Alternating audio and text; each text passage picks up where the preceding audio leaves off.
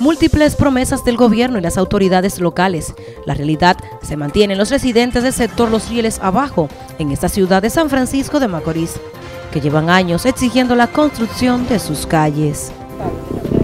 Adiós, que tenemos ya, no se sabe qué, tiempo tenemos en esto, ya de luchando por esta calle.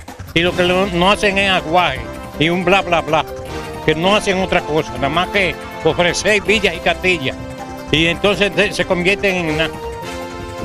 Ya estamos cansados de esto y, estamos a, cinco, a cinco minutos de, una, de, una, de una tercera capital, del centro de una tercera capital a cinco minutos y que esto no está enviado todavía. Eso da vergüenza. Las recientes lluvias ponen en evidencia la seria situación que viven por el deterioro de sus calles, las dificultades al desplazarse.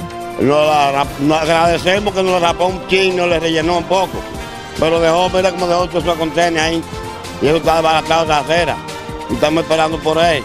De acá y de allí para acá tenemos aquí hoy de ocho años. peleando esto, peleando esto, peleando esto. Y ahora viene y una cosita ahí. Y esa escuela no la termina.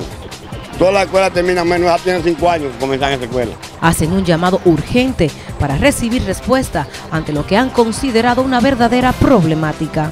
A pesar de los constantes llamados a las autoridades locales, hasta el momento no han recibido una respuesta, por lo que nuevamente exigen atención a sus demandas. Para Noticiero Telenor, reportó Joanny Paulino.